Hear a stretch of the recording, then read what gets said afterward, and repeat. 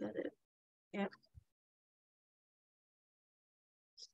Hi everyone, you're welcome to today's. Can please can you all hear me? Signify if you can hear me. Yes. I believe everyone can hear me. Yes. All right, you're welcome to today's session of November to Remember.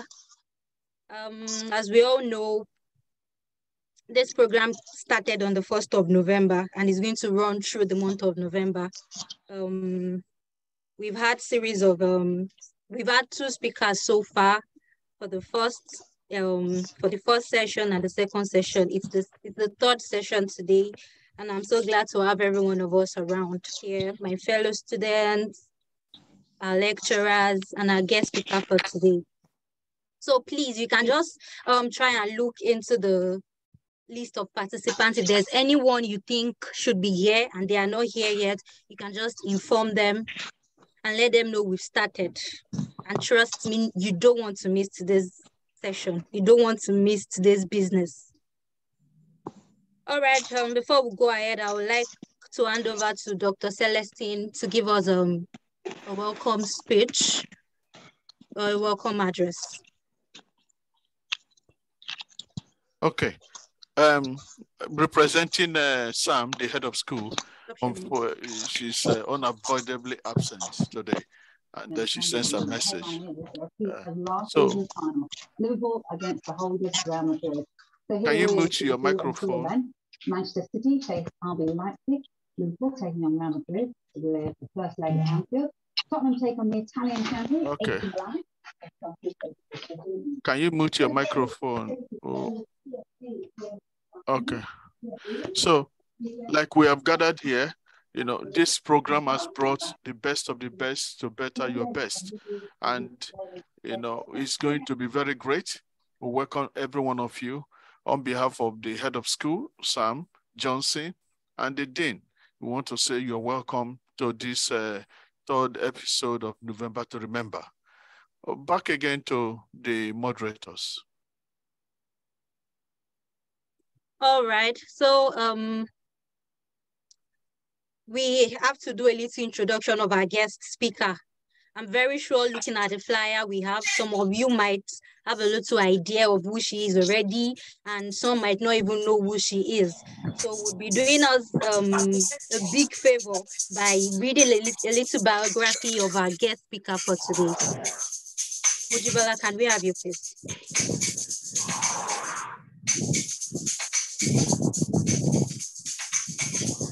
Sorry, quick one, please. Everyone should try and mute themselves so we can all hear us clearly, please. Try and mute your mic, please. So we can hear ourselves. Try and mute your mic, please. Yeah, it's not getting anything. Like, you should really think that should be real. Yeah, I don't get anything. It's only tutorial now that get them stuff. Many ones you blog book it now. Oh, they block book it. I have. That's St. Mary's. You, you block it. Yeah, so that way you see that on Thursday, Thursday, St. Mary's, Friday. So they ask you to uh, use the for two weeks. Okay, so um, So they will That's why run they start sending anything. So they want to, the they want to send taking biography our speaker today, as you So, all know, just like you how don't, you don't get shit for next Audrey Salah told us earlier. So today, we believe is the power The founder and CEO of and the co-founder of the Playing for the Planet Alliance. She's passionate about data for good and how we can use data for fairer outcomes for people and the planet. Playmob is a market insight platform gathering public sentiment data through popular mobile games. Isn't that interesting? To better understand how people feel about the, glo- um, the global goals and what actions we should take to make better decisions for people and the planet. The company has collected data for the world's largest survey on climate altitude, the UNDP, the People Climate Vote. So if you're looking at my screen now, you'll see the link. I don't want to go through all of those links. And then I'm going to, I'm reading for that. She confounded the Playing for the Planet Alliance, which is now 30 plus members, the world's largest player in the gaming space, including PlayStation. I'm sure a lot of us are familiar with PlayStation, Xbox, Unity, Supercell, Rovio, um, Niantic, ustwo, Gridman Games, and even though I'm not so familiar with some of these, but you know, so with collection reach of about 1.4 billion monthly active users. Jude is voted one to watch in 2015 at the Talent Unleashed Awards, judged by Sir Richard Branson and leaders in tech. Voted top 100 women in tech Europe, growing business, Young Guns 2012, and shortlisted on Red Hot Women Awards 2012, and runner-up Young Entrepreneur of the Year 2012. Built Playmob, I mean, she built Playmob up to be winner of Best Startup 2012 launch conference, BBAA Social Investments of the Year 2013, and Digital Leader SME 2014. Interesting. She is a BAFTA Games judge, member of um, UK Interactive Entertainment, and speaker at various events such as um, Web Summit, the Next Web, Mid Festival, um, 6W, Women in Games, Browser Games Forum, Games for Brands, London Games Conference, Social Games Summit, and Tech Cafe. Um, this is very interesting, and I cannot wait to hear from her. Thank you, Thank everyone. you everyone. Yes, everyone. Just like you've heard Mojibola, our speaker for today is super packed. So without wasting much of our time, let's welcome Jude for today's business. You're welcome, Jude. Over to you. Hi, thank you very much. And yeah, good, good to be here. Good to see everyone. Um. I'm just going to bring up my uh, my screen. Um, so I've got a, a, presentation to make today, but also I want to leave some time at the end for any questions. Um, so if you do have any burning questions, please pop them into the um, pop them into the chat, um, or we can you, you bring them up at, at the end. So happy to do it either way. So first of all, I just want to make sure that you can see the slideshow. Um, can everyone see that? Okay. Yes. yes. Perfect. Yes, okay. we can. Okay, thank you. Okay, so I um my name is Jude. I'm the founder and CEO of Playmob, and thank you so much for the for the introduction. I think you've kind of given my my um 20 years uh, history there, so I don't need to really talk about um who I am, but I thought I'd maybe kind of talk about some of the bits that I hadn't um really covered and how I got into the space of of um gaming for good and how we can unleash the power of play. I just thought a bit of background and history in terms of um, where I kind of came up with some of the ideas and how it's evolving and where it is today um, uh, is basically the theme of this presentation. So I got into gaming when I went to Abertay University. Abertay University were one of the first in the world to have a computer games course. I know Bolton is, is excellent in gaming as well. Um, but in 1997, Abertay created the first games course, which I didn't do. I did a master's in marketing, um, but I, I was really fascinated in what they were doing at the, at the university. Um, especially around how they were growing entrepreneurs and an entrepreneurial ecosystem and really kind of lever- leveraging um, the the history of gaming um, which had come from the city of Dundee. So Abertay University is in Dundee in Scotland, so that's where I'm originally from. I'm now down um, just outside London. Um, but the the history of gaming in Dundee was that the Lemmings originated from Dundee. The very first Grand Theft Auto um, came from the city, and more recently, um, Minecraft or console was de- developed in the city as well. So we have a really rich heritage in gaming. You know, lots of people kind of getting into the space. You know, a thousand game studi- students come out of the course per year. We're creating an entrepreneurial ecosystem, and then the entrepreneurs who go on to, to do extremely well um, end up investing back into the um, the the the future entrepreneurs and future game ideas that are coming from the city.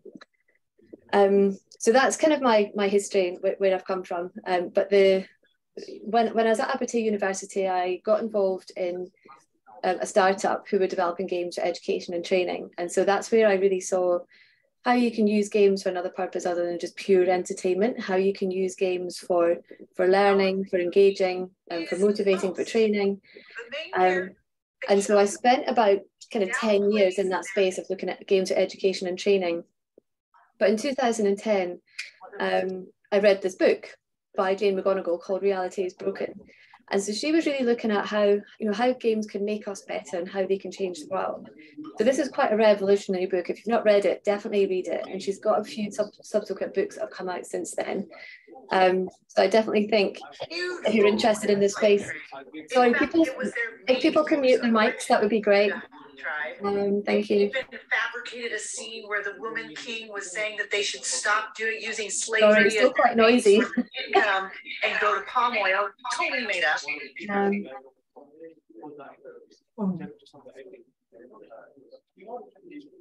thank you. Um, yeah, so if you're interested in this space, definitely look at Jane's books because they are they, they are revolutionary and some of her work is great as well. But one of the things that caught my attention was that in her books, she'd said that at the time, this was kind of 2010, we were spending 3 billion hours per week playing games. And if we were to get to 21 billion hours per week, we can start to solve some of the world's most pressing problems like climate change, poverty, obesity.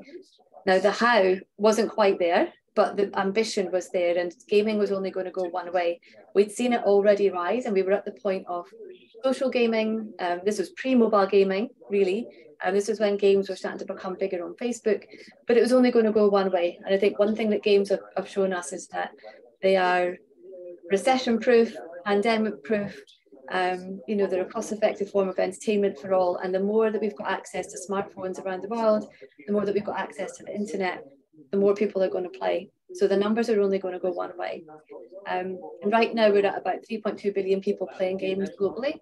Um, when we play, we're 98% engaged. The market is worth more than music and film combined. We're at about $178 billion right now. And, and again, that's going up. And that doesn't include ad revenue or ad spend. Um, so it's about another 100 on top of that um, for that particular part of the market. Um, so that was the quote I gave earlier. I kind of skipped over that.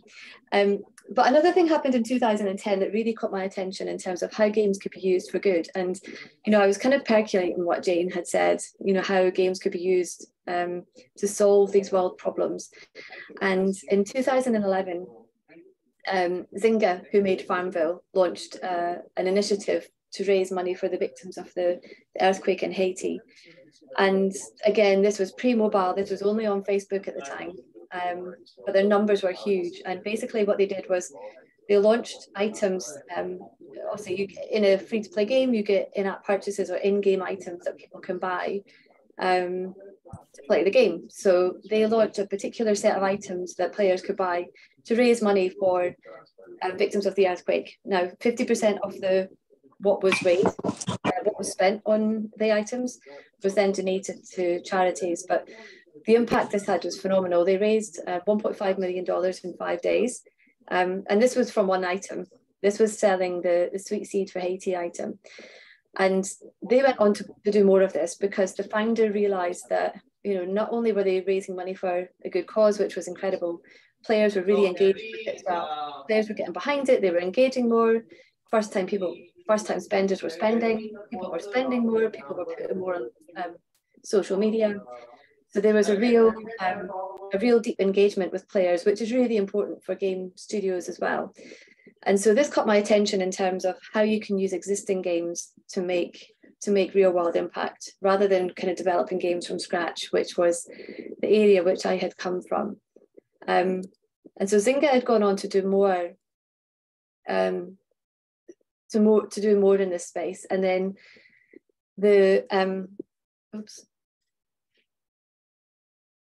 This is what kind of set me to uh, this is what led me to setting up Playmob because my thinking was around okay if we can use these existing games to engage with existing player bases we can educate them on global and local issues find out what they care about raise money for good causes. The audiences are already there and so if we can really figure out how this could work for both Impact and Game Studio, then it's a win-win model. So the, the idea for Playmob was to create this platform to integrate into existing games, to be able to raise money for, for causes and raise awareness of what needed, um, what needed to be done. Um, so 2012 set Playmob up to do just exactly that. So we kind of went on the, the typical startup journey of um, raising money. We went through Techstars Accelerator, we raised investment, um, and we built our platform and in the in the few years that we kind of concentrated on this model, um, we raised over two million dollars for charity, um, and we worked with some of the biggest studios and games in the world. So we worked with um, the the Sims, so Electronic Arts. We worked with Plants vs Zombies. Um, we worked with Rovio through Angry Birds. We worked with Supercell, Amazon, Ubisoft. You know, all the big names were getting involved, which was really really exciting.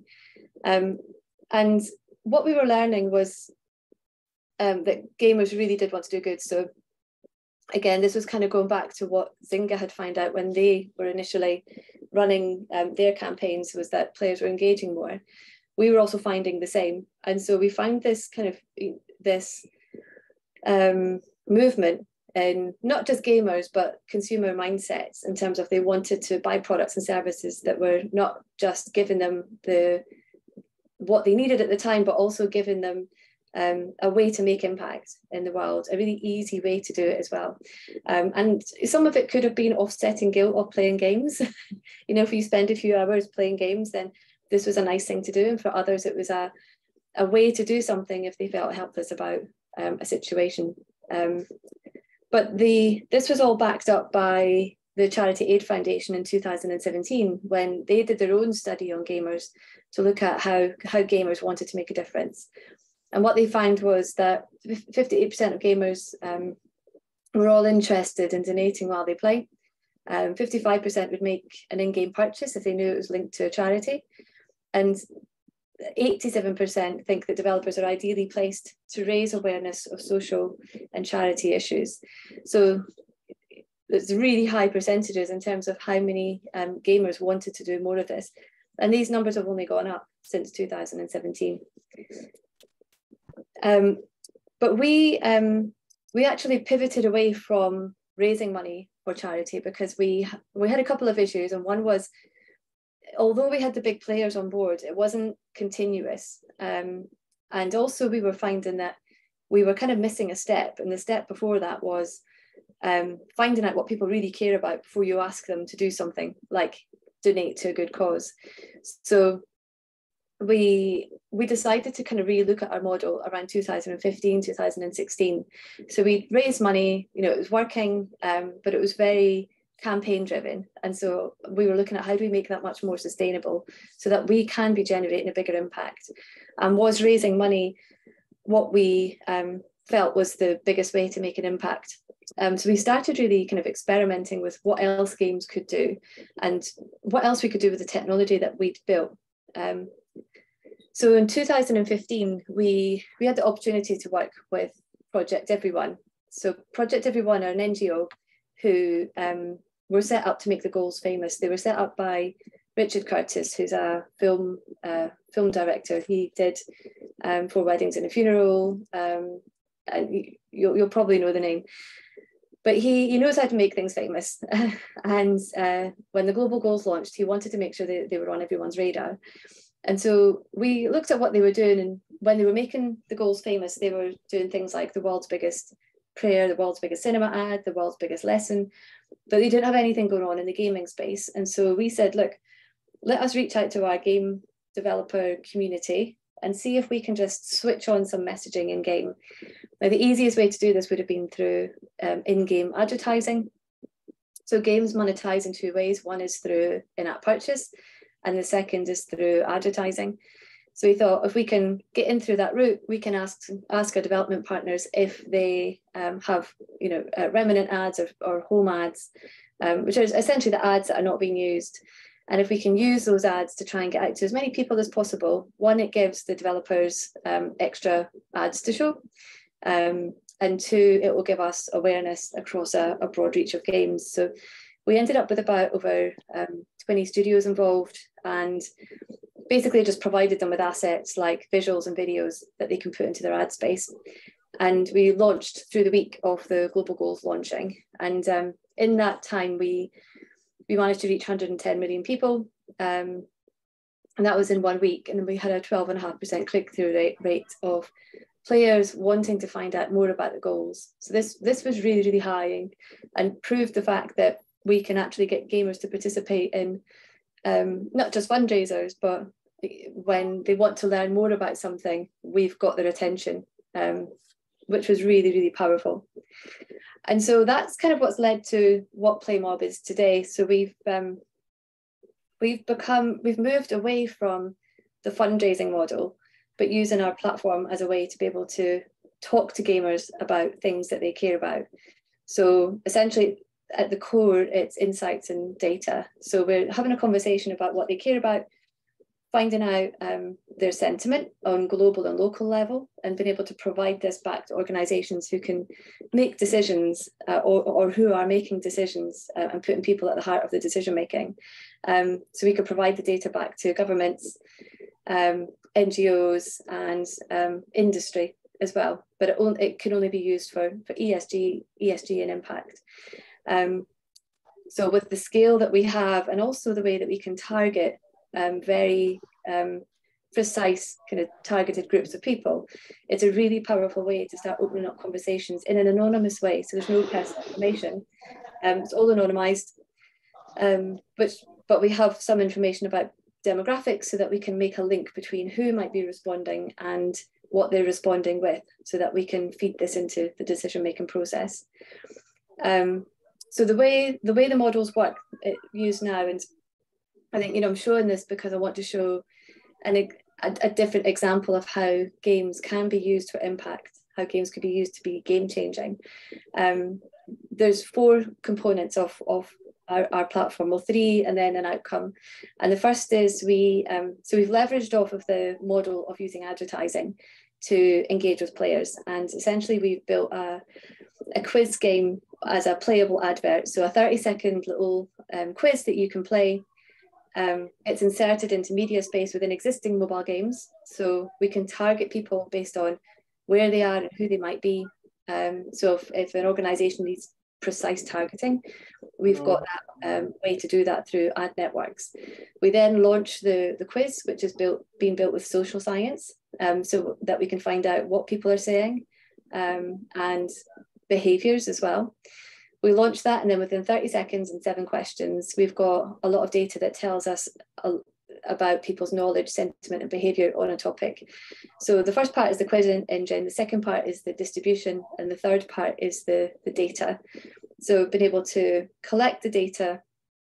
Um, we do top line analytics, we don't do any in-depth analytics, but we can provide that data then back to organizations to make powerful decisions, whether it be around policy, strategy or operations. Um, so that's our way of, of using games now and how we've changed from the fundraising model to the um, actions and outcomes model. So the um, so the data that we're essentially collecting covers these these areas. So we're looking at kind of knowledge, how much do people know about a topic, sentiment, how much do they care, behavior, like um, what would they do, uh, and looking at that over time to see if we can nudge or change behavior. We're looking at truthfulness and data as well. So because this is an, is, is an advertising space, if someone is just speeding through just to get a reward, then we have to invalidate that data because it's not truthful. Um, but if they're taking their time and it's considered responses, then we can validate it. Um, and so for us, you know, it's really about getting that quality data um, rather than just lots of data. Um, you know, it has to be quality demographic data. So we don't ask any personal information, but we do ask someone um, some demographic information so that we could link that back to responses. Um, and we can look at data from the extremes of a, a level of confidence to very rigorous kind of validating representative sampling data, um, which is something that we did with, with the UN, which I'll, I'll, I'll show you as a case study, which is this one.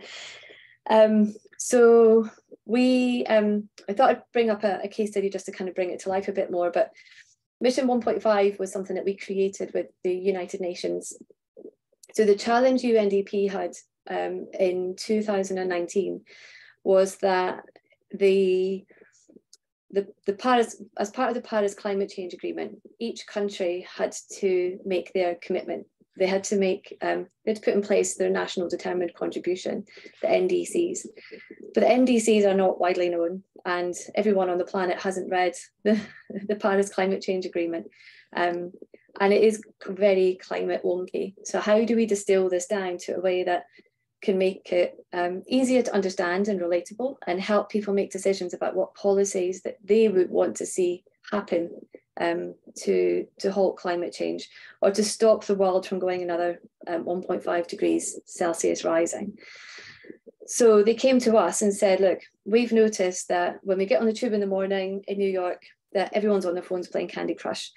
Um, and we saw what you guys are doing, and we'd like to see how we can do something together to reach as many people in the world as possible, find out how they feel about climate change, and then provide this data back to world leaders to help um, help them make better decisions around climate policies, so that we can put people's voices at the heart of the decision making, and try and stop the world from rising another 1.5 degrees. And so this led to Mission 1.5, which in the end was rolled out to 52 markets. But the first step was we we built the playable ad. Um, this it was a bit more kind of advanced than the um, the quiz engine that we have, but we had to scale it down to kind of a quiz engine because of the size of it. So they were ended up being two versions. One which was more visual, um, a bit took a bit longer to play, and it sits on the website, and that could be rolled out to markets as a as a web game um, and it could be used as educational um, material. It could be used on social media. Um, but the we also then created a, a very light version um, because in some of the markets that we were going into, the bandwidth wasn't um, wasn't great. So we had to make sure that we built this to be as accessible for, for everyone as possible. Um, and in the end, we ended up reaching 52 markets. in total, it's about 33 million people um, in terms of validated responses, because we had to, we worked with Oxford University and professional pollsters to validate the data. They also helped us set the parameters in terms of we had to reach a particular amount of um, people per demographic bucket in each market. So there were 40, 48 demographic uh, buckets per market, and there were 52 markets. And the numbers were all set by the professional pollsters so that we could make sure that we had a, a representative sample of each particular demographic per market. Um, and so when we rolled out, we had to do some um, targeting to make sure that we were able to reach um, the particular numbers that uh, that were required for sampling. Um, and this was quite a fun part of the process as well, because this is where we were able to use lots of data and games to, to optimize. So what we would do would be we'd roll out in a market, you'd start to see certain buckets fill up. So typically it was, you know, the 18 to 35 year olds that were filling up quite quickly. Once they'd filled up, if there were other buckets left unfilled, we had to switch off the buckets that had filled because we got the numbers. And then we had to then push more into the games that were targeting those that were, um, the numbers weren't so high in. So for example, um, if we were trying to fill a bucket like in India, for example, of 60 plus not in education, then we'd have to look at the sorts of games um, that that demographic would play and we'd push out the game into those games that uh, we, we thought were being played. So the likes of you know Sudoku or crosswords or puzzle games um, would, would typically uh, target the kind of the, the 50, 60 plus market. So we had to just keep on continually optimizing to make sure that we got the, the exact number uh, or you know beyond the exact number of, of people. And that would then give us a, a confident level of data for that country.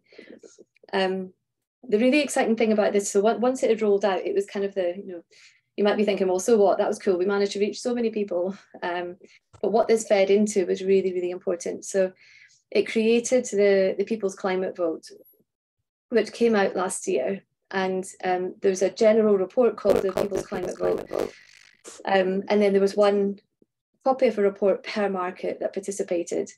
Um, and then each of the each of the markets, the report went to the world leader um, so that they had the data in a report, so that they can start to make better decisions about climate change. And the hope was that we would then increase the commitments that were going into the national determined contributions.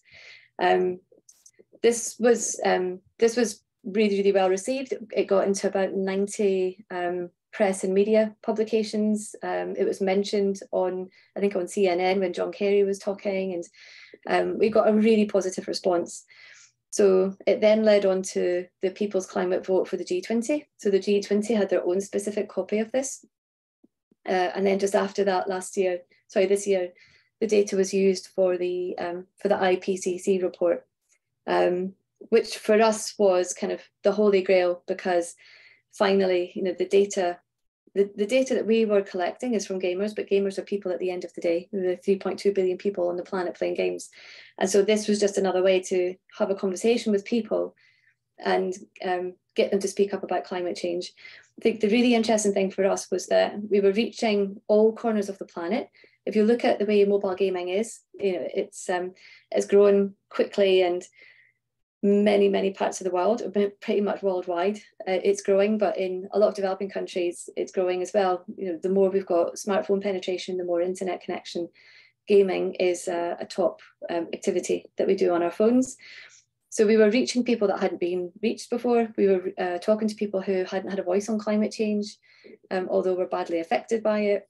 Um, we were talking to people who uh, potentially couldn't vote. You know, maybe they were under underage to vote, or just couldn't vote in their country, or were too scared to vote. And the fact that games were, uh, or games are, you know, a real personal moment on your mobile device. You know, you're not. Um, uh, it's you and the device you know you're fully engaged when you play you're 98% engaged you know you're not multi-screening and you're not playing with anyone else unless you're playing a, a social mobile game um, so it's a real personal moment and we're not asking for any personal information so there was nothing revealed about the, the, the personal identity of the person that was playing so it was very groundbreaking when it came to you know, what the what the potential was, but we're just scratching the surface with what we can do here. Um, so that was quite an exciting moment for us, and this is all derived through through games with a game. Um, so that's kind of the, the history of Playmob and uh, where, where we are today. And we continue to do more within the climate space. It's, it's one of the biggest areas for us. And in particular, kind of breaking it down now into looking at things like water shortages, um, energy, um, cost of living, you know, some of the big challenges that we're having, uh, you know, in the UK and globally, um, we can start applying this methodology to to start engaging people to um, to to feed their voices into whether it be policy making, strategic decision making, or operational decision making by the organisations that are having like water companies and energy companies or our governments. Um, so the ones that are making decisions about some of these big topics. Um, so we continue to do that, but something else that we were doing, and I know it was mentioned um, in my bio, was the um, the Playing uh, for the Planet Alliance. I think oh, this was a video, but I don't think it's going to play. so I'll, I'll talk through what it is. So it's now a collection of 49 game studios and publishers, including PlayStation, Xbox, Rovio, Supercell, Ubisoft, So they've got Ubisoft have actually got um, 15 studios participating, which is really exciting. Um, Niantic, who make Pokemon Go. Um, collectively, we've got reach of 1.4 billion monthly active users. Um, and the, the point of the alliance is that it's encouraging, um, it's, it's bringing the games industry together on one platform and looking at ways that we can encourage players to take green nudges in games. And that's either through you know, raising money for projects on the ground, raising awareness, getting them to speak up. Um, for the industry as well, it's also a way to learn how to become carbon neutral, if not carbon negative. So Supercell a couple of years ago created a model around how they as a studio can um, offset their, their carbon emissions. And over the years, the, the Alliance members have taken this on and added to it. Um, there's lots of work that still need to be done on it because on the gaming side, you know, you've got kind of how players are consuming energy, you as a studio, the employees, um, but then there's lots under, you know, I think we're just kind of seeing the top of the iceberg. There's lots under at the bottom, probably about 90% under the iceberg that we still need to tackle. But the point of the alliance is to come together to share ideas and to share resources to try and speed this up so that we can become a carbon neutral, if not carbon negative industry and quickly, um, and bring our players together to, to take action. Um, so this is just a, a, you know a quick summary of some of the things that we've done so far. So it's the, the Green Game Jam. I'll, I'll talk about that in just a second, but that's come out of the um, come out of the alliance. Um, we're making real world impact. Um, the alliance is growing year on year, although we've had to stop taking members on at the moment because we've got a new membership model that's kicking in. Um, we're looking at innovative ways to decarbonise. Um, examples of some of the impact are, you know, planting trees or raising money. Um, and I won't read this all out, but you can start to see like some of the some of the impact that's been made. So this was from 2021. The alliance actually launched in um, 2019 um, and the end of 2019. So we've done quite a lot in a, a short short amount of time. Um, and uh, oops, sorry, I just can't see my screen.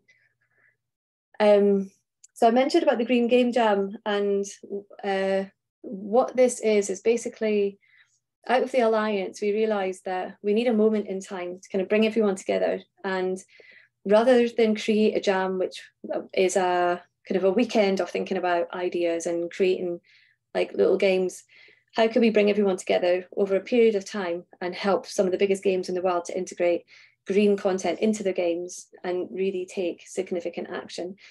So the point of the jam was to bring people together to have experts come in for a few weeks to talk to them about particular themes. So this year it was um, food and forests.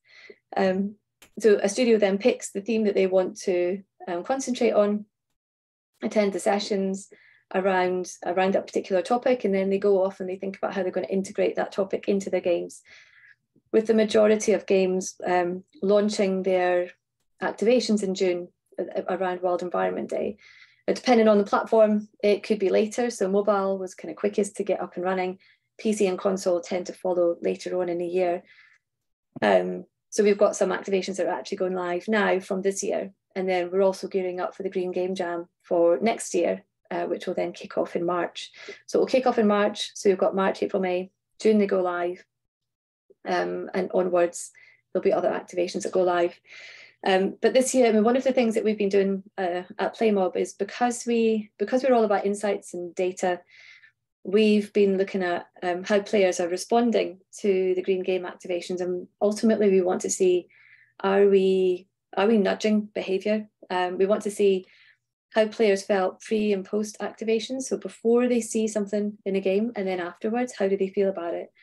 Um, so we've been doing this in conjunction with unity and we're looking at how we can make this bigger for 2023 onwards to do a more longitudinal study on behavioural transference um, but in terms of some of the responses we've been seeing so far, we're seeing that you know 83% of respondents think that gaming can teach you something about the environment.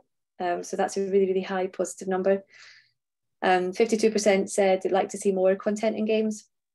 8.7% said they wouldn't. That's totally normal. What we'll typically see is um, a small percentage of the very, very hardcore, like want to do more. A small percentage, which will be the people who are don't want to do anything, that's fine, that's up to them.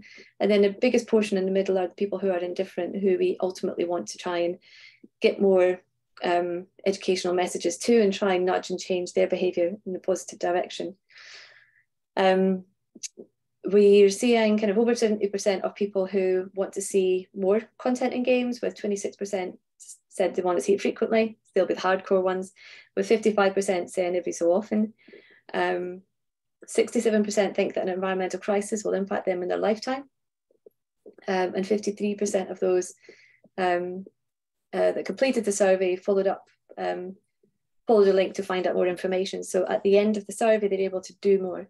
Um, so over half of the respondents said, click that link to be able to do more. Um, and just on this slide as well, that just something I thought would be interesting as well as you. Um, the colours are the SDGs, this is UN Sustainable Development Goals. And so what we were finding here was that um, the the two highest uh, these these were the number these were the percentages of games supporting the SDGs. Um, so you'll see that the um, health and well-being and life on land were the two highest, being goal number three and goal number 15. Um, so this was a study we did in 2019 just to look at the industry and what we were doing already. But life and land uh, on land was one of the one of the highest, um, and health and well-being was kind of on par with that. Um, so yeah, I mean, I talked a bit about the Green Game Jam, so I won't go too much into that. But um, yeah, so we we had over over 50 participants because Ubisoft had four, 15 game studios um, involved as well. Um, so it was one of the biggest jams that we've ever done. If you're interested in looking at the types of activations, um, you can go onto the Playing for the Planet Alliance website and you'll be able to see the Green Game Jam activity. Um, and then in June, when they go live, what we do is we have a have an award um, with different categories. Um, so you'll see, um, so you'll see here we've got. So the Unity choice was Hay Day. Um, they did a, a, theme around food, which fitted really well into um, Hay Day, uh, which was a really cool activation. Um, we had a media choice, most adoptable, we had players choice, um, best in food, best in forests. They were the two themes or categories for this year the participants' choice, and then the first to implement, so the first studio to go live. Um, so we have the awards in June um, when we look at all the activations that are going to go live. Um, and it's just an extra way of kind of shining a light on those that are really kind of going all out on their activations. But you'll be able to go onto the website and see all 50 activations. Um, so if you're interested in playing the games, some of the activations may be continuous, they may still be live, they may not be um, but they're all the games that participate year on year. So if they if they did do something that was time based, um, chances are they'll do something next year. Um, so if you want to have a look at their games and keep an eye on them. But I mean, essentially, the, the way that games are activating are in three categories, as we see. So one is around awareness. So they're doing things like putting content and storylines into their games, um, creating characters and themes, interesting visuals um, so that they can help people remember um, in-game messaging so that messaging will pop up and keep reminding players or they could be using advertising as a way to raise raise awareness of the topic. Um, some are doing fundraising in a number of different ways. So most of most of them would, if it's fundraising, it's going to be in-app purchase. So buy an item in a game, percentage of money goes to charity. Some will do downloadable content, so DLC in game. Um, some will do premium games. So if you go to the App Store and you'll see you have to pay $5.99 for a game, then after 30% goes to Apple. Um, a percentage of that could then go to charity. Um, some are using goals or, or actions within games to equal a, a, corporate donation. So reach level 10 and we'll plant a tree or you know do something in game and we'll take action. Um, another interesting model is turning soft currency to hard currency. So soft currency again, currency that is earned, but then um, giving the players an opportunity to then say, right, I've got a thousand coins in game that I've earned. I want to donate that to charity, and that might equal ten pounds or ten dollars, ten euros. Um, essentially, that's time that the player has spent, um, but it's coming from the the corporate. Um, and then the other, uh, the third side is around kind of data and insights. So this is around finding out what players care about, um, finding out a bit more about their behaviours and looking at if we're nudging or changing behaviours, or collecting information from players to find out what they care about, which could then be used for developing more content aligned to what people want, or just generally finding out um, information from players on how much they care or want to know about the topic. Um, so just in the next few minutes, I just wanted to run through a few other examples. I know I've kind of talked a lot about kind of climate action and a lot of the work that we've been doing, but there's other kind of interesting examples that have been um, used in the industry. Um, and this is a, some may recognize this, some may be wondering what this is, but there's a really interesting game called Fold It, Fold.it. And it's a game that's been around for years and years, got millions of people playing, and it's about protein folding. So you can basically fold proteins in different ways to solve problems. And it's been used for trying to see if we can so solve problems in the medical space. One example is um, scientists have used it already for, for seeing if we could um, uh, well, essentially there was a, a, disease, I can't remember the name of it, but it was kind of like a, a an AIDS-like disease that was found in monkeys. And it took about 15 years for scientists to figure out uh, uh, how to resolve this. Um, but gamers who played Foldit did it in about 30 days. It was really quick because there was so many people online folding proteins. So they're looking at, you know, can they use this to try and uncover um, uh, cures for cancer? So it's quite revolutionary, revolutionary when it comes to kind of medical research. Um, so definitely one worth checking out. Um, another one slightly different is Sea Hero Quest. It's a really, really cute game to play as well, but it's for dementia. Um, and it basically gives, um, when you open the game, it gives you a map that you have to memorize, and then you sail around the map by using your memory. Um, so you don't see the map, but you've got your boat and you have, you know, diff different routes that you can go. So it's, it's testing your memory. What it's trying to do is kind of test early signs of dementia. Um, but also every so often it asks you for some information about yourself. So um, age, gender, um, I think it's got things about lifestyle. And what they're trying to do is, again, kind of crowdsource this information, whether it be behavioral or um, by asking questions to feed into um, scientific research around dementia and see if we can identify early onset dementia sooner um, and try and figure out a, a, resolution to it as well. Um, it's a slightly different, this one is, is called um, Bury Me, My Love, and it's um, it's quite a, it's quite an emotional game. It's about um, refugees from Syria, and the way that you play it is kind of like through a text-based game, like you're texting someone and you have to make different decisions. And it's about um, uh, the refugee, it's about a couple who are, are, split up and are trying to find each other again on their journey um, to a safer place. And it's um, so it's just it's to highlight the the journey that um, refugees, uh, you know, if you're coming from a war torn area, the journey that the refugee has to go on and um, it's a really fascinating one to play and there's different outcomes as well depending on the different decisions that you make so it takes time to play um, but it's really gripping um, so definitely check it out if you if you get the chance um, and just another one I wanted to mention was um, World of Warcraft. So this was a, you know, a long time ago. I think it was about 10, 12 years ago. World of Warcraft was used by scientists to look at um, pandemics and viruses. So what happens? How how do we behave when a, a virus um, is uh, happens when a pandemic hits? And the scientists had modelled different types of behaviour, like um, you know when you drop in a virus, um, some people are you know they're scared they won't log back in. Some people will because they they think they're immune to it, so they just log in, but then they catch it.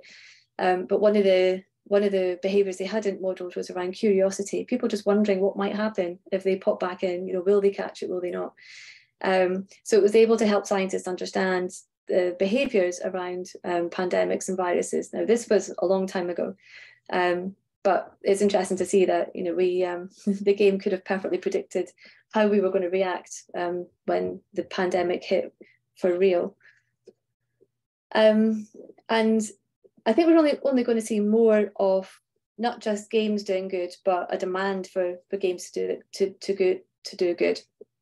And like I mentioned earlier, I think this is really down to conscious consumerism.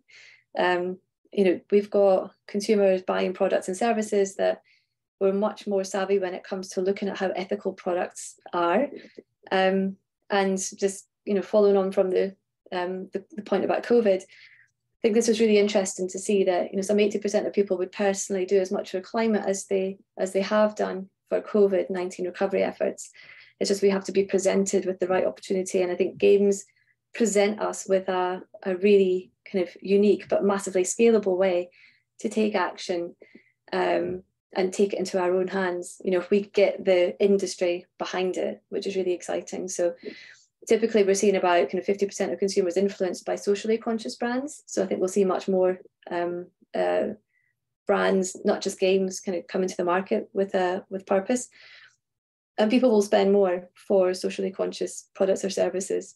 Um, and we see this in gaming as well, where players will spend more for items which are to do good, um, because typically it's it's not a, it's not a high value item. It might be a couple of dollars, five dollars, and so you know if if spending five dollars versus three dollars means that you're going to make impact, um, people are, are likely to do it because because of the outcome it will have.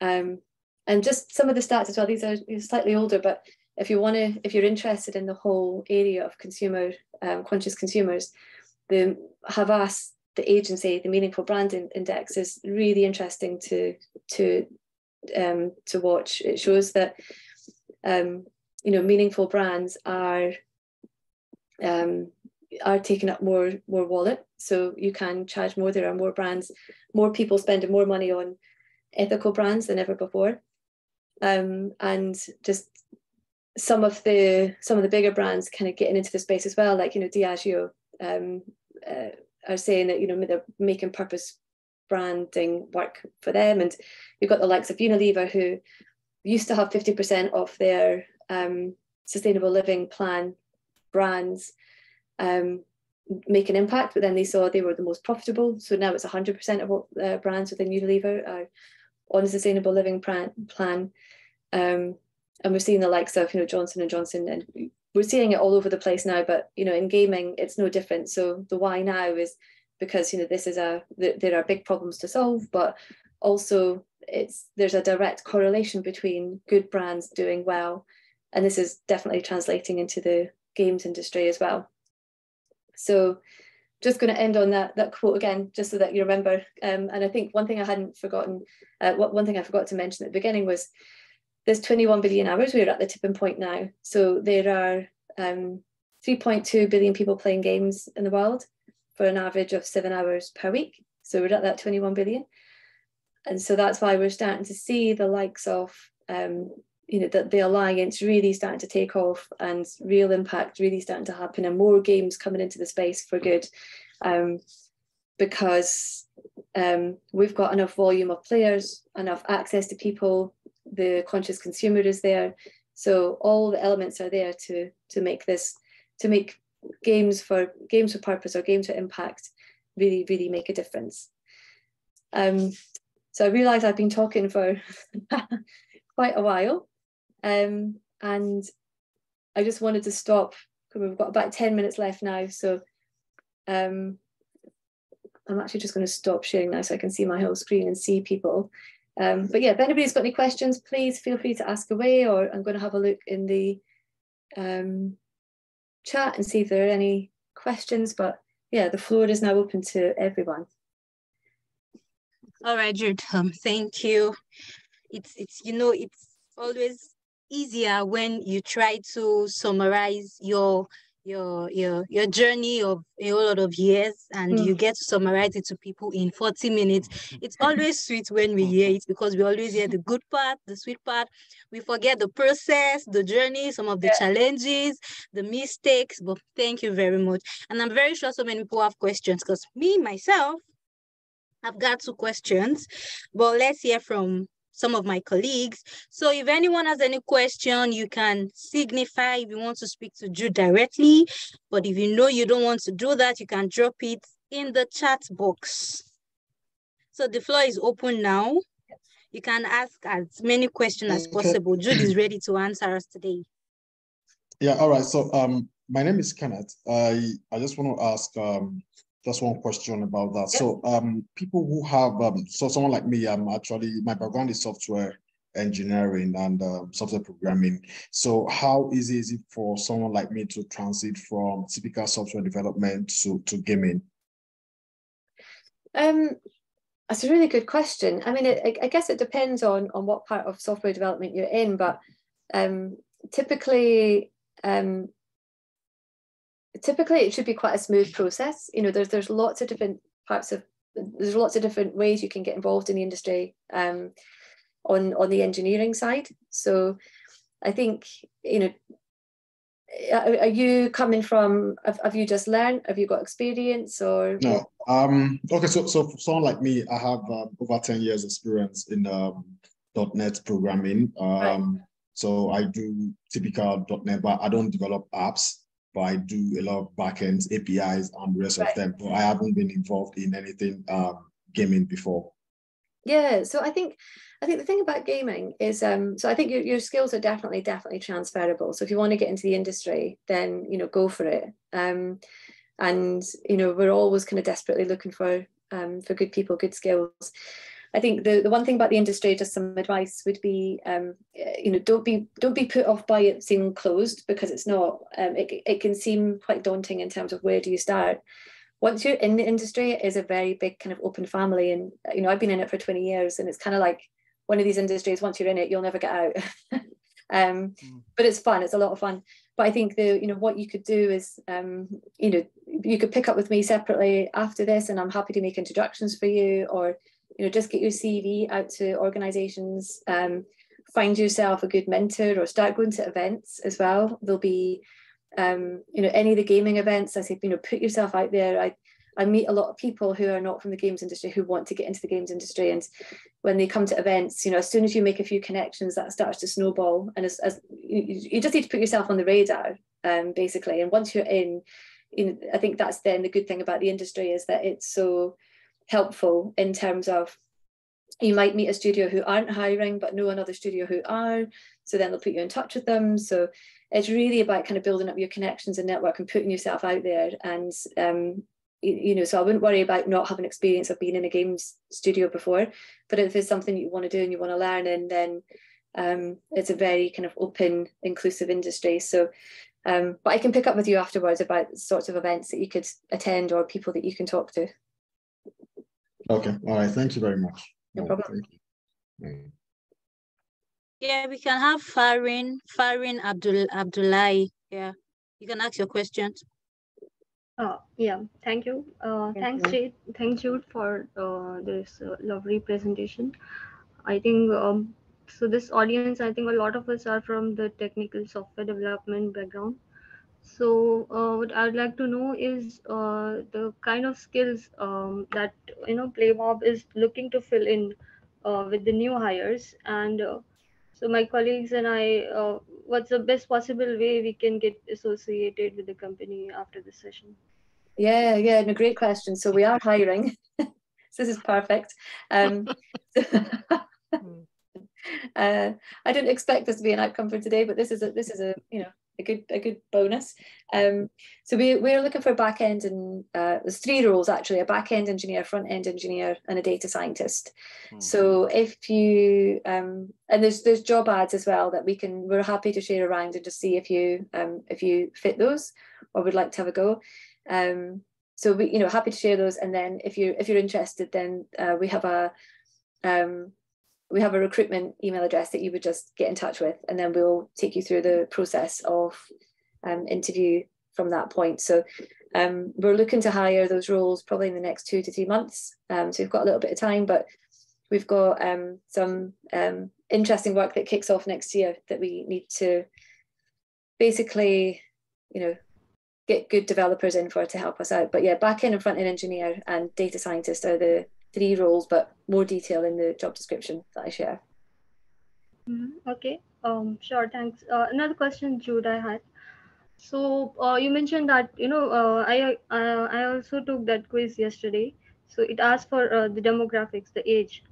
So uh, so the perception has been like the youngs, the young ones, they are contributing more towards the gaming industry. So so the data that you collect uh, is the perception correct that it's coming more from the young ones or like what kind of age group is contributing more? No, so actually, we, funnily, I did have a slide about kind of the age breakdown, and I took it out before the before the presentation. Um, but I think it's um, there, there's a i guess there's a lot that needs to be demystified about the games industry, and that is that the average age now of a gamer is 37. Um, so the biggest portion of gamers are between eight, eight, age 18 to 35, and the smallest percentage are under 18. Um, but the 20% of gamers are actually over 50. Um, and so when we when we roll out uh, an initiative which, which is to collect insight, if we're going broad, you know, we're not doing a target on a particular age group. It's really interesting to see who who comes back. So we did this recently with a, a water company in a particular area for looking at water issues, and um, the the biggest portion of gamers that were playing were in the 55 to 65 age categories. So you know, you've got, you know, we we can't collect data on anyone that's under 13, basically. So, um, you know, there's an, an, an assumption that the younger kids play older kids' games, but um, we see kind of from 13, you know, upwards, you, you know, it's such a a broad demographic these days. Um, and also on the gender side, it's it's about 50-50 male female, although a lot of social gaming and mobile gaming is more women play than men. Um, so the yeah, so it's it's not a typical, you know, teenage boy playing war games in his bedroom as as as most people kind of presume. Um, but yeah, I mean, if we if we need to reach a particular age group, a particular demographic, then that can, can be done by looking at particular games. So each game will have their own set of demographics. Um, so that you know, the, so the demographics I mentioned are, are quite broad, but you'll typically see you know certain age groups or um, genders gravitate towards certain games. Um, but yeah, it's uh, it's very very broad is what I'm trying to say. But average age being 37, and that that average age will go up over time as well because for anyone who started playing games in the 80s or 90s, you know they're they're they tend to still be playing now, especially mobile gaming. All right. Yeah. Thank you. Thanks.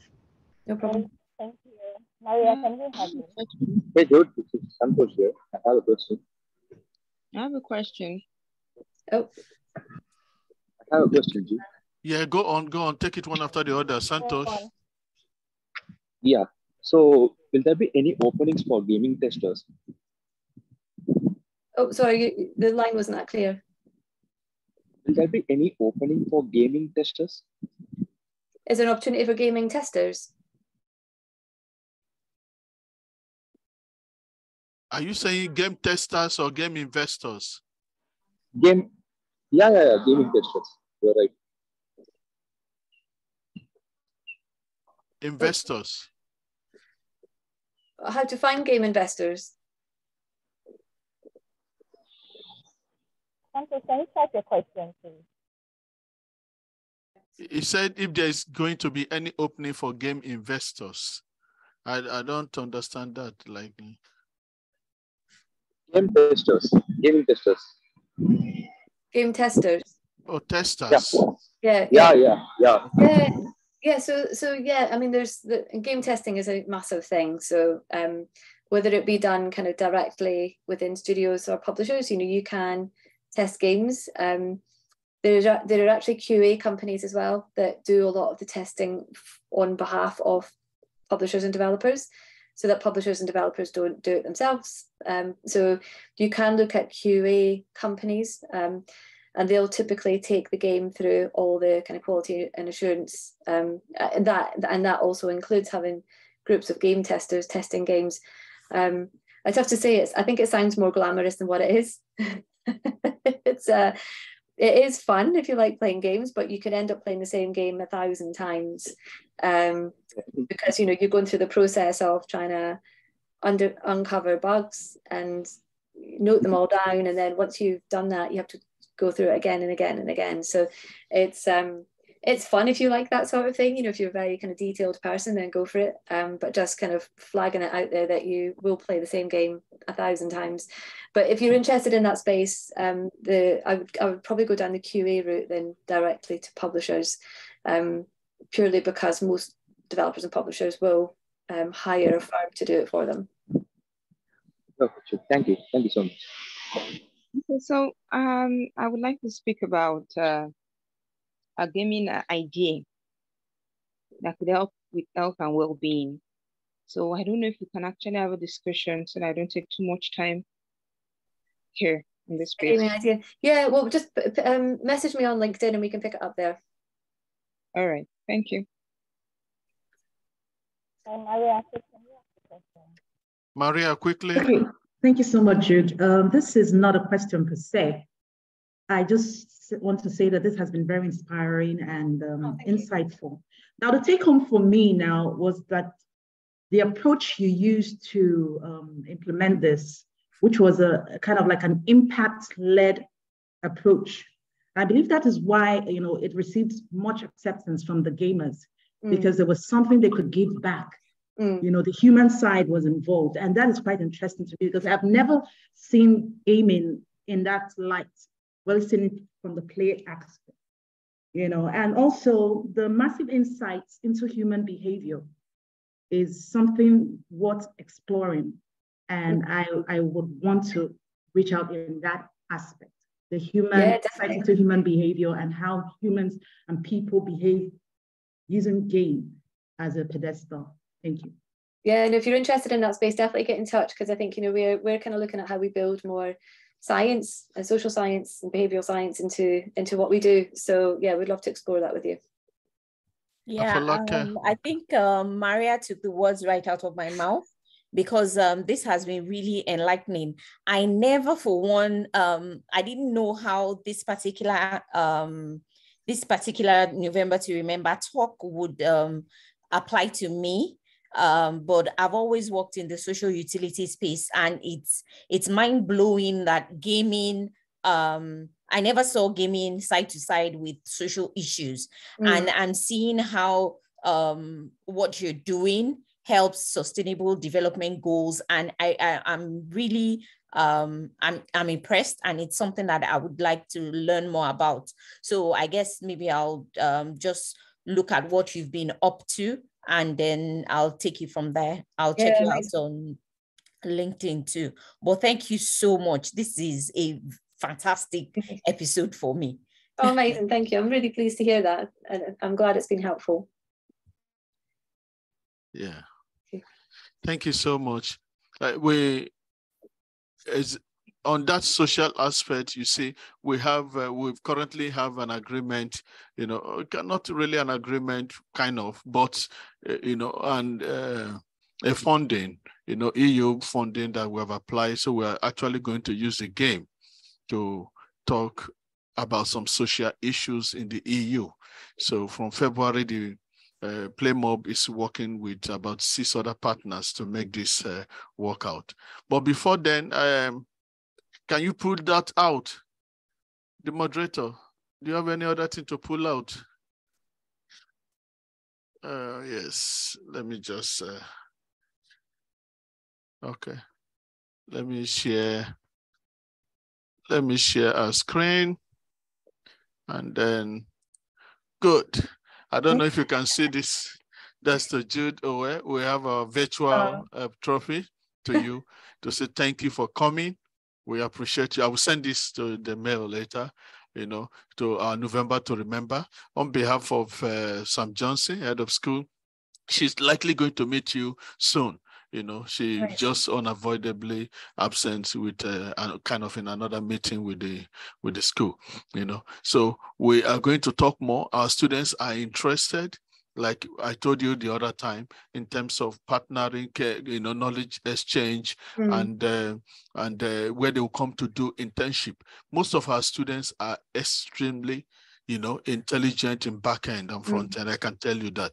Like Kenneth, and I have 10 years experience. I have for him and so many others. So they're there. And I told them the best way to get into, because they are still students, is to have this internship you know. So we will talk about that later on where we, you can use them for exactly what you know uh, you want to go in and then eventually you know I'll see their potential you know and then we can talk from there. So thank you very much. This is award for you. We appreciate you. Thank you for coming. Amazing. thank you for it. coming. Mm. i'm going to put it on my linkedin. Yes definitely.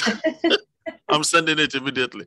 I appreciate everyone. Yes, thank you for the moderators. Thank you, Jude. Thank you for all. You know, we have a whole set of classes that joined up. Mm-hmm. You know, we have group, so a whole lot of students are in classes now joining up to this uh, presentation, and uh, they are all excited. You know, so we appreciate you. Thank you for coming, and hope we can work more together as we are already planning and working.